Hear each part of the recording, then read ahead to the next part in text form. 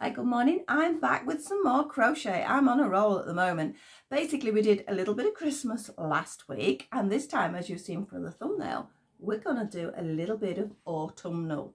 Now, it could be autumnal, it could be Halloween, it is a pumpkin, it really any season. If you like my daughter, you'll have them there all year, because they are cute, aren't they? Pumpkins are I don't know, they really do evoke that autumnal feel, which a lot of people really do like, and so do the shops at the moment. As I've noticed, there's a huge amount of autumnal themed things about.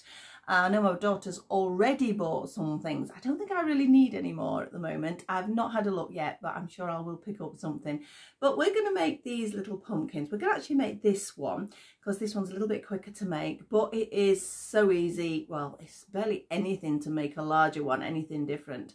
So it is in UK terms, don't forget that. You may need a conversion chart. I'll pop a little bit of sort of UK to US, but you may need a conversion chart anyway because uh, I know it has thrown a few people when I'm referring to double crochet stitches which are here in the UK and I know in the US they're actually single crochets but obviously I'm going to refer to the UK terms. So we're going to make this little guy here.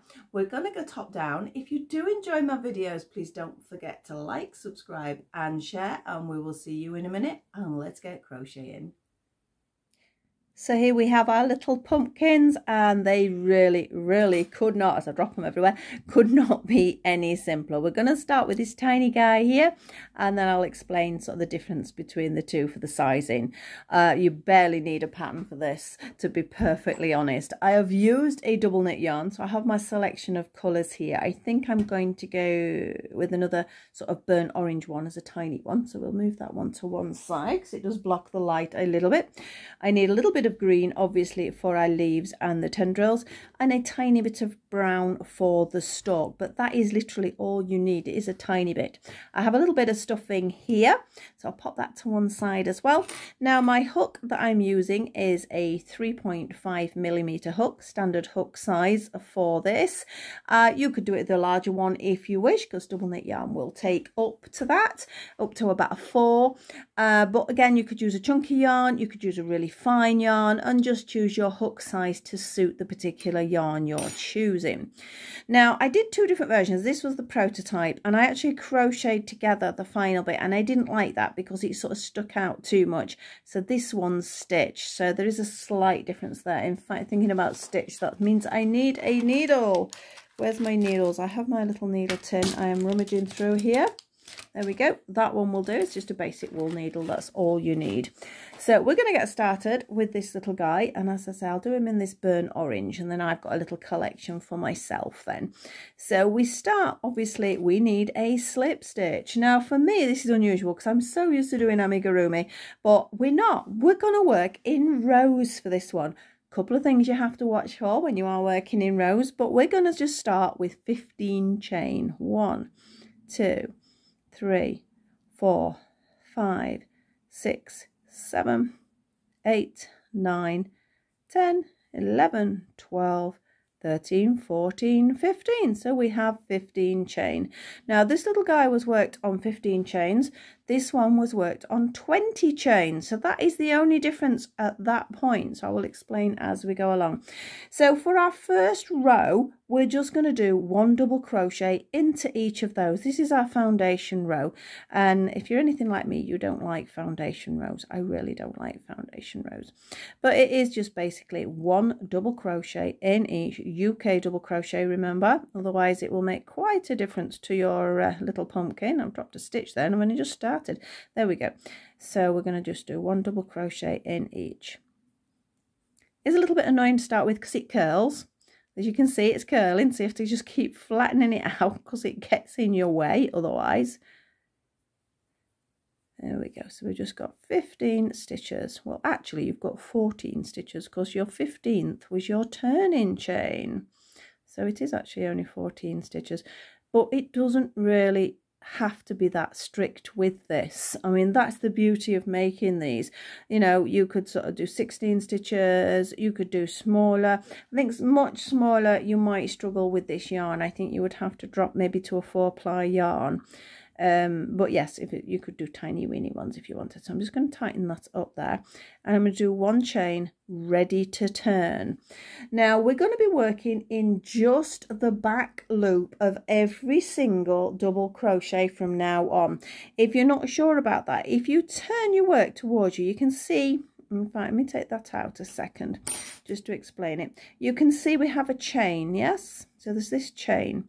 So if our work is facing us this way, when I say back loop, it's literally just picking up that back part of the stitch all the way around. So you do a double crochet. It makes this bit then stick out, so it gives you a bit of a rib. Now the other sort of pitfall for rows is missing that first stitch because I've done a chain that doesn't count as anything and I need to go directly below for my first stitch. If I don't I'm going to lose a stitch. Let me just tighten that up. So that's a back loop double crochet. It's the same stitch, it's just that you're only going in that back part of it. Now you'll see I sort of, as I do it, I sort of tip my work forward towards me so I can see where that back loop is a little bit easier. The more you do it, the easier that will get. It's still going to curl a little bit for these first couple of rows, but after that it will sit sort of a lot flatter. So this is just row one of our back loop double crochet.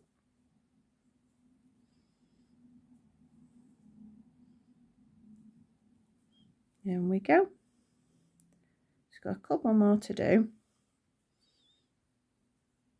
So hopefully it won't curl on the next one because I do find it very irritating.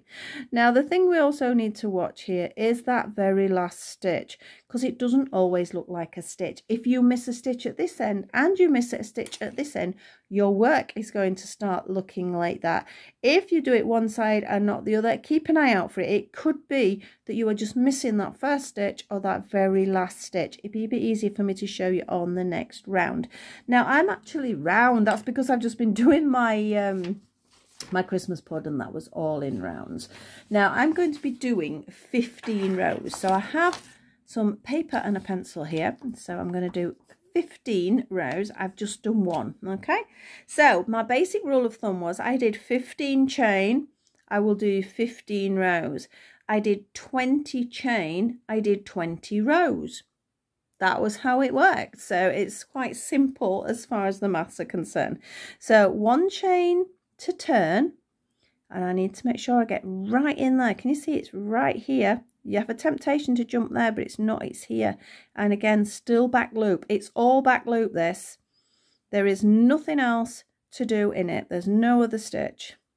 So we're just going to do a back loop double crochet all the way along our, which is actually 14 stitches now. It will be if I don't catch that. There we go. So you can play around with all sorts of size pumpkins, different yarns, double up, put a, a variegated yarn. Oh, you could do so many different things just following this simple system. Basically, we are just making a little rectangle of back loop double crochets. That's all we're doing. Right, I'm going to come towards the end now, and this is where I want to point it out. So can you see? I'd be tempted to think, oh, that's last one because that's easy. And then I missed that last one because I think it's not a stitch, but it is. But because it was the chain from the previous row, it looks a bit dodgy. So you sort of have to look, try and find it. It's there. And if we miss that, you're going to lose your stitches. So there we go. So um, one chain. So we now have two rows. So I can go a little bit quicker now. I did an extra chain then, didn't I? We only need one turning chain and turn. Make sure you get that first one for ages I got that wrong. It's just one of those things because it's so easy to miss. So it's just down to practice. Like I say, you'll know because either one end or both ends of your work, you'll start to lose stitches basically. So you'll create yourself a little triangle. And if that starts to happen, you know you're missing stitches. There's occasions now where I've made things and I've done that. I've missed the stitch. I'm like, oh.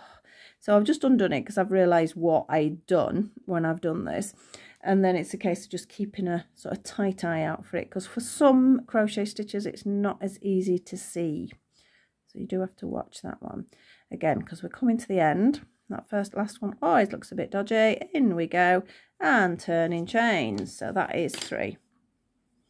So you can see how it's making a ridge. It's making a rib, isn't it, for want of a better word. Um, it's quite a nice way of doing a rib, this as well. But usually if you were doing a rib like that, say for a cuff, then you'd be sort of working in that direction for the rest rather than this way. But it does make a nice rib. It's quite a sharp one. I think it's nice to have a nice sort of sharp rib. I do like the one where you do with, with trebles, which I do do quite often. Uh, the front post, back post one. But I actually think this is easier. A lot easier. Oh, I'm doing it. I'm saying easier and then I'm dropping stitches all the time, aren't I? So I will do all 15 rows with you. Um, some of you might want to just pause then find out how I actually put it together at the end. That's by all means, that's a great way of doing it. If you're a little bit quicker than me or you're sort of wanting to sort of get on with it or if you're a little bit slower and you'd rather take time to do your stitches rather than trying to keep up, that's fine. Whichever works for you. If you're doing that, I will see you in a minute or two at the other end because literally that is all it is, a minute or two. Because we're already on our fifth which means we're already a third into making this little pumpkin.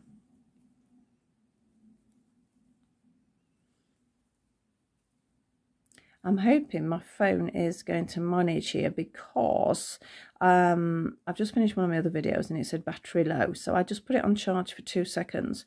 Well, a bit more than two seconds while I went and put the washing outside. Um, so I'm hoping it's charged enough. Otherwise, I'm going to have to pause again for this one. I should have charged my phone up fully to start with. That would have really helped. So I'm now on row six, making sure I pick up that first one, not sort of leaning across it. As you get used to the stitch, you will get faster as well, says me. you know, it's fatal if you go, oh, this is easy, or oh, this is quick, or this is this, and you're guarantee you're going to go wrong. It's that thing when somebody's watching you, isn't it? If you do it yourself, you've nobody watching, you think, oh, it's easy. And somebody goes, oh, what are you doing? Oh, they come and have a watch and you'll go wrong and guarantee it. And the last one, don't forget to pick that last one up. One chain turn. That is six rows now. We're on row number seven. So as you can see, I'm so I am speeding up just very slightly now because I'm confident to where that back loop is and say, oh, my wool, I just dropped off the other end of the table. It will be okay. It will be okay. Thankfully, I did hoover my floor uh, earlier, so it's not too bad. Sometimes with my craft floor, it's a nightmare, especially if I have beads and things out. There's bits of beads or Yes, I dropped a needle the other day, which wasn't great because I dropped it inside my Crocs, didn't realise, put my shoes on and ouch. Yeah, that hurt. So you should always be aware of where your needles and pins are. It was actually a pin, not a needle. Right, so row number eight. So anyway, just saying the wool's on the floor, but my floor is clean because I cleaned it. I had to because there's always bits all over the place. So this is row number eight, I said, wasn't it? Yes, which means we are over, just over halfway. We'll have a little look at this rib when we get to that point. I mean, you can see it very obviously that the rib is forming. Can you see how nice that rib is? It's really, really good. I mean, obviously it stretches out when you do the pumpkin. I mean, you could, if you did more rounds and just don't stuff it quite so tight you would get the rib closer together. You can play about with that idea. One chain turn. And row number nine.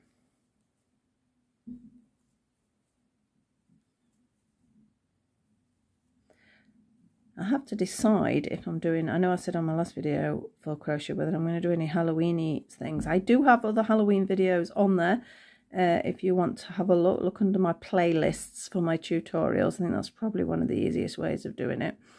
Um, but uh, yeah, I've got to decide because time is clicking on, isn't it? So I do need to get either sort of autumnal sort of out of the way. And uh, I've already started the Christmas, but again, it needs to be done a little bit quicker because if you're making presents or if you're making for charity or anything like that you need a little bit of time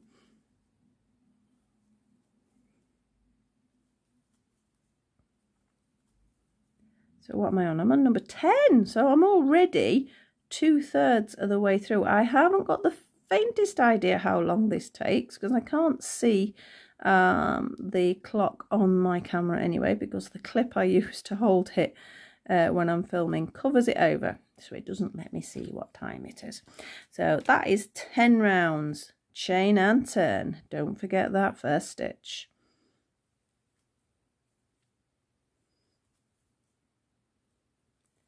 Let me know in the comments if you do try it with different yarn um, or sort of different quantities. It would look really cute, tiny. I'm tempted to do that sort of for my doll's house. But I do already have quite a few pumpkins that I've made previously. If I do do that, I would use a Anchor number 8 or a DMC uh, crochet cotton with something like a 1 millimeter crochet hook. So it would be quite small it would be quite cute. I might have to do that. So that's 11, one chain and turn. If you do want to see other types of pumpkins, my amigurumi ones are on here as well. I think what I'll do is, you know, when you put those little boxes at the end of the video, um, I think I'll put, uh, yeah, I'll pop one for the playlist. I think that might be the easiest way so you can have a nosy if you're wanting to do anything sort of seasonal. One chain turn. So that is 12. We just have three more rows. That wool's pulling a little bit. That's why I had to pull it across the table then. So we will do the little leaf and the tendril as well. But I mean, you wouldn't have to do those. You could just do a little stalk. It wouldn't really matter. Or you could do loads. You could do loads of longer tendrils than I'm going to do. You could really mix it up. So I like to keep my crochet simple so you can actually play with it and make up whatever designs and make it more personal to yourself as well. So that was 13. Only two more to go. So you can see, as I say, we're getting a little rectangle.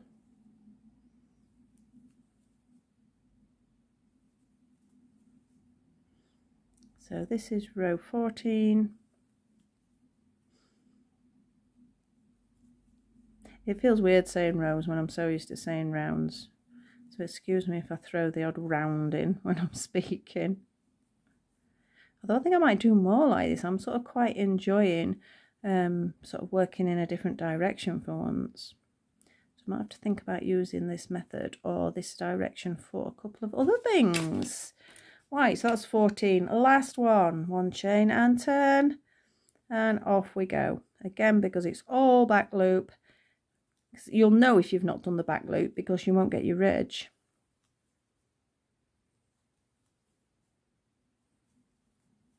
I move a little bit nearer the middle of the camera there. I think as I start crocheting sometimes I do pull my work towards my body which is not helpful when I'm trying to film it because I have to sort of film it away from my body a little bit more. Right, last two stitches. One and two. Ta-da! And that is it. That is our little shape that will turn into our pumpkin. So I want a bit of yarn here because I'm going to be using it for sort of gathering. So I do need a little bit of yarn from this. So I'm just going to cut it there and the rest is going to fall off my table. I know it is. And I think what we'll do is before I put it together we're going to finish all the crochet bits. So first of all we need to it's a rather long strand I know pull that through. And that's what we've got our little rib now for the actual stalk, wow, well that could not be any quicker. We're basically, you can, well, you can make it as long as you want, but I'm just going to do six chain.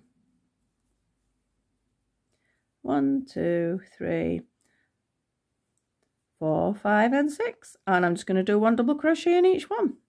And that'll be it. Actually makes five stitches because obviously your sixth was your turning chain.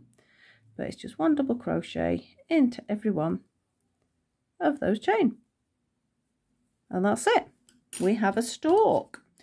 Doesn't need to be any more complicated than that. because at this size you can't really sort of do like the amigurumi type ones. But yeah there's your little stalk. All right so stalk done. We're now going to move on to our little leaf and the tendril. It's all in one for this one.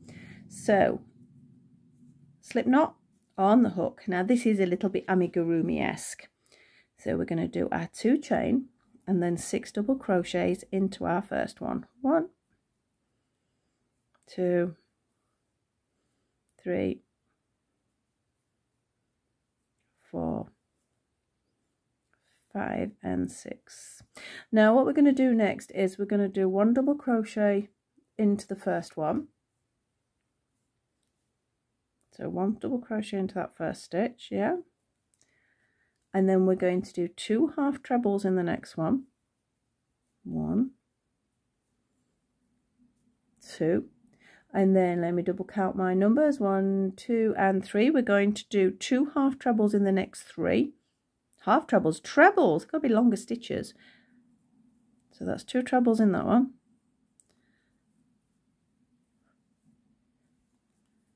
Two trebles in that one then we're going to have a, two half trebles in this one. And we're going to have a double crochet. And then we're going to have a slip stitch.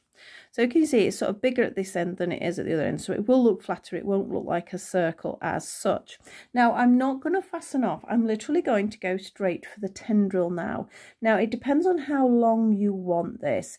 Um, I did 15 for this one. I'm going to do just 12 for this one. So 1, 2, 3, 4, 5, 6, 7, 8, 9, 10, 11 and 12. And now, all working back down that chain, we're going to do three double crochets in each one. And that is what will give us our curl. It feels awkward to start with, so that's three in the first one. Because it'll just curl up on itself, which, as I say, can be a little irritating. That's three in that second one.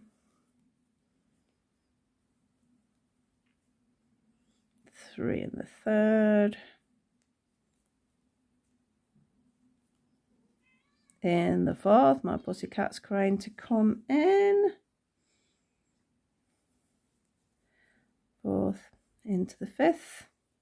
Well, basically it's just three in every single one. You don't even really need to count.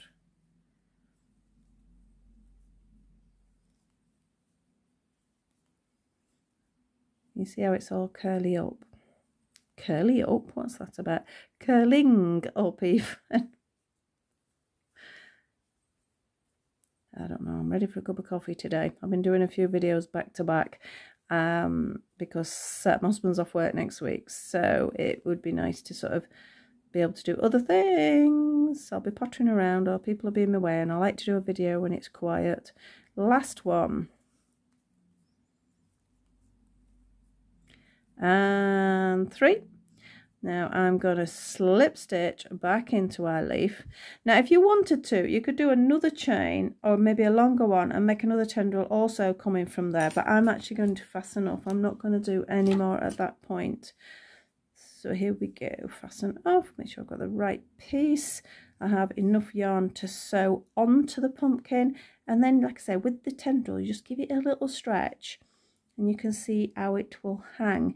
Now I have actually stitched it on here where the leaf was but I've also then pushed the yarn through and just stitched it here. It just sort of holds it in place. Now let's look at how we actually construct. I think we know how to sew these bits on. That's not a problem. But it's the actual construction of the pumpkin which is a little bit more unusual to what I normally do. So I'm just threading my yarn up. You have got a long piece here so it it does get in the way a little bit. Now you'll see both sides look identical really. So you decide. I'm just folding it over like this. And all I'm doing is some little whip stitches, which is basically like an over stitch. Picking it up all the way along. So it just creates a little tube and then it's what we do with the tube after that so all the way I'm pulling it towards me again aren't I again I'll always do that for sewing because it's quite hard to sew at arm's length which is what I have to do for the video. This is a bit clumsy using a long string like this, so you do have to watch for it tangle it. Oh! Two reasons for the pause then. Firstly, I knocked the camera flying, and secondly, I've let the pussycat in. So I will try not to hit the camera again. Again, it's because I'm sort of sewing such a long piece here. And there we go. So I'm at the end there. Now I know that bit's in the way, so I'm just going to do a knot and I'm actually going to thread my yarn back along here. It doesn't really matter but I'm going to use that bit for the last bit. So you know she's meowed to come in and now she's going back out again. I swear she just doesn't like the door being shut. So I'm just running this along. It's not really going anywhere. It doesn't have to. Because it doesn't matter whether you turn this inside out or not because it's still going to look the same. So I'm going to leave this as the right side facing. Don't twist it like that. There we go. Now I'm going to just do a little knot here because I don't want it to pull when I do my gathering, if that makes sense. So basically I'm just going to gather up around here and it's just literally in and out, in and out, as near to the top as you can get.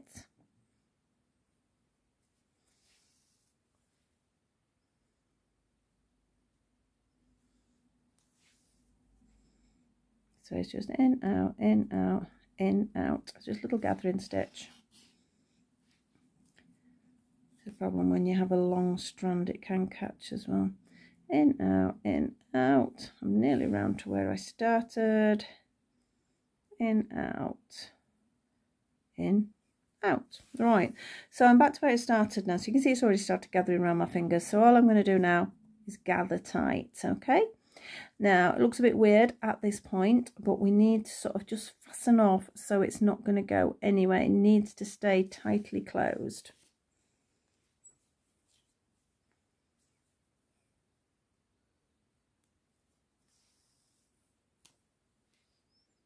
Do one more and a little knot it is not going anywhere so it's up to you at this point now i did earlier when i did my first one turn it inside out then so it looks a little bit neater but it just depends on what this looks like. You can actually just sort of push it in a bit to make it neater but we will be turning it inside out. Now i don't need this bit of yarn because there's already a bit of yarn at the bottom. That's why i shuffled this along. So i'm just going to sew the ends in a bit. It's going to be on the inside so it won't matter too much. Let's just snip it off and get rid of that bit.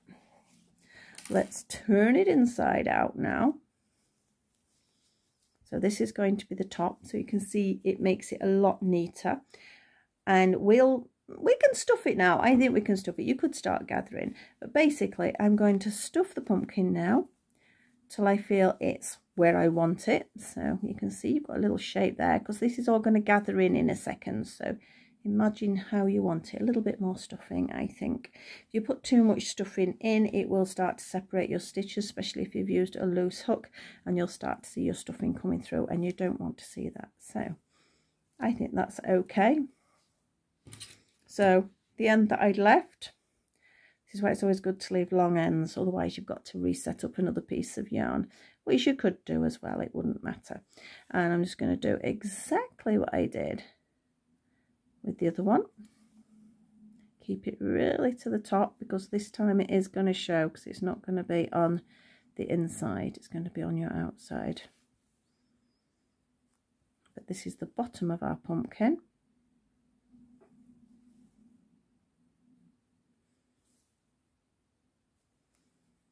And the last bit.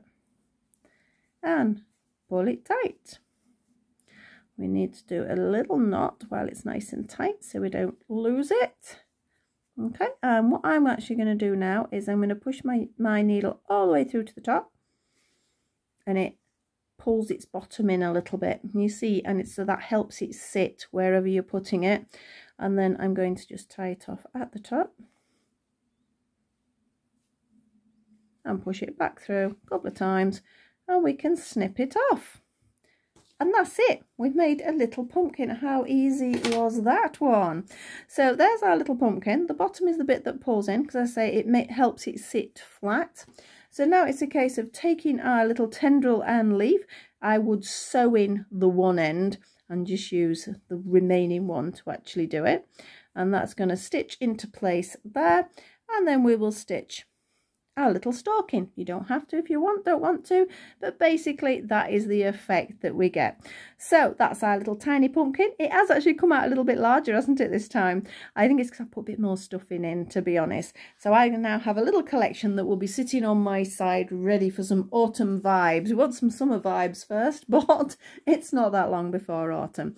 So I hope you enjoyed doing that really could not be any simpler to make could it um if you do want to sort of see my other videos i'll put the links on if you do enjoy my videos please like subscribe and share etc i'm just turning around for something don't know whether some of you actually already seen the book as well.